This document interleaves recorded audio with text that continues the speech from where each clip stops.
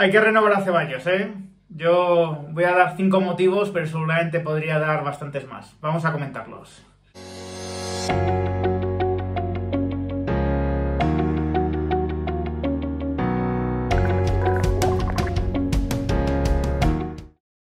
Muy buenas a todos, ¿qué tal?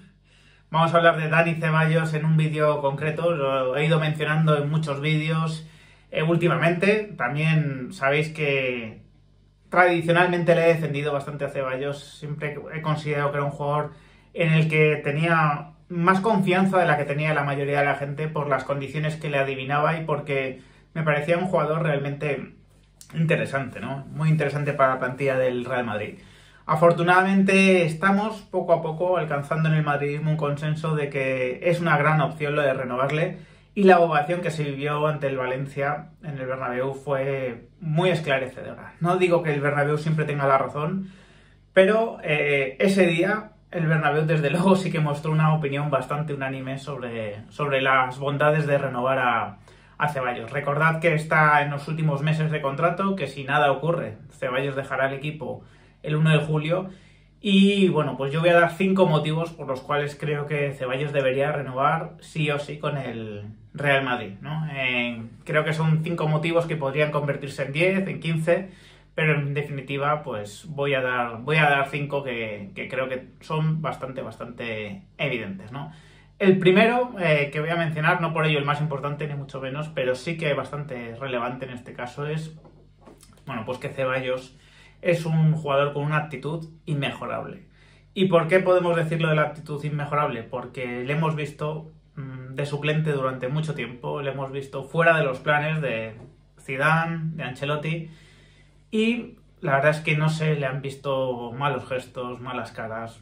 Quizás, ¿no? Quizás hubo alguna declaración por ahí ya en el Arsenal donde no estuvo acertado, pero eh, fundamentalmente lo que ha habido es mucho trabajo en la sombra y muy poca mala actitud. ¿no? Eh, creo que esto es importante porque Ceballos, en el caso de renovar, puede adoptar diferentes roles dentro del club y ya saber que ha sido, ha sabido ser un buen suplente, ¿no? ha sabido tener la actitud suficiente para levantar ¿no? su situación, ¿no? para remontarla de la mejor manera posible creo que es un, bueno, pues es un buen aval de la actitud que, tiene este jugador. Una actitud en ese sentido muy madridista, muy resiliente y que a mí particularmente me, vamos, me, ha gustado mucho, ¿no? Eh, así que ese sería, la verdad es que el, primer motivo, ¿no? Una actitud realmente buena y, y, positiva.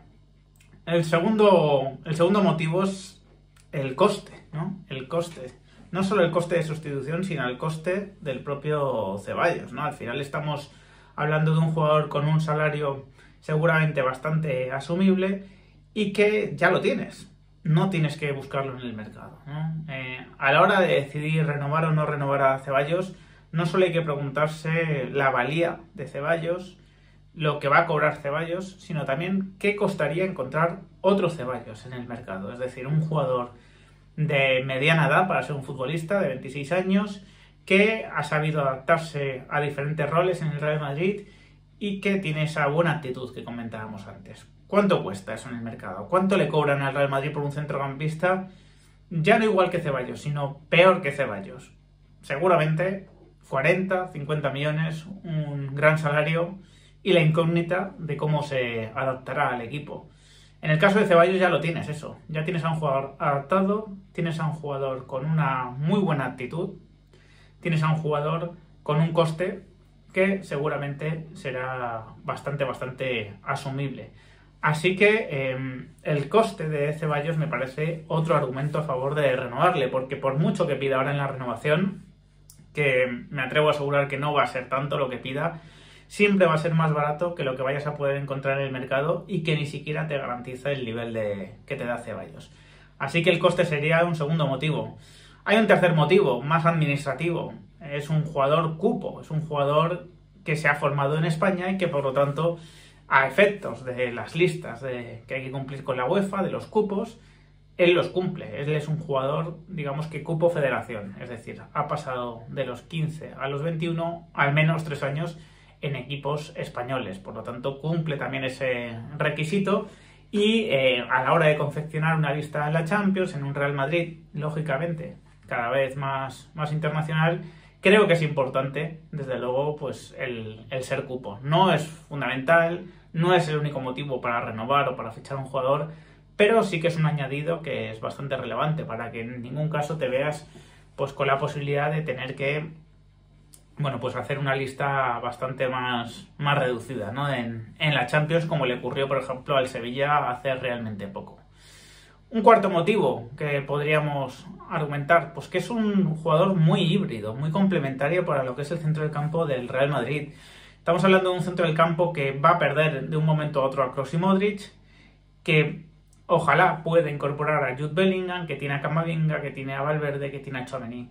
Y Ceballos es una mezcla un poco de todo, si os fijáis. Eh, un jugador con una enorme técnica, con una capacidad de conducción importante del balón, con bastante seguridad en el pase, como está demostrando en los últimos tiempos, pero también con un potente físico, con bastante resistencia, con bastante garra. ¿no? Cuando ves, eh, cuando ves, digamos que las características de los diferentes jugadores que van a formar parte del centro del campo del Real Madrid, eh, ves en Ceballos bastantes cualidades reunidas en el mismo jugador, sin entrar en comparación con el resto, lógicamente, pero sí que ves una buena mezcla. Y eh, en el Real Madrid, sin Cross y Modric, no van a sobrar jugadores de estos con mucho juego de tobillo, ¿no? Sobre todo cuando se vaya Modric, ese tipo de jugador no va a sobrar demasiado, ni en el Real Madrid ni sobra en el fútbol.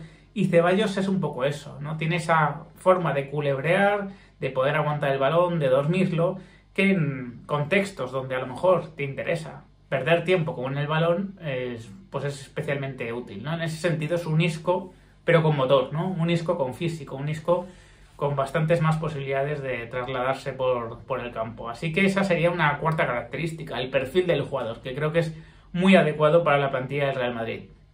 Ya hay un quinto motivo, que es el más importante, el más relevante y el, bueno, pues por donde seguramente habría que haber empezado si fuese en orden jerárquico. Es que Ceballos es muy bueno. Es que Ceballos es muy bueno y está jugando realmente bien.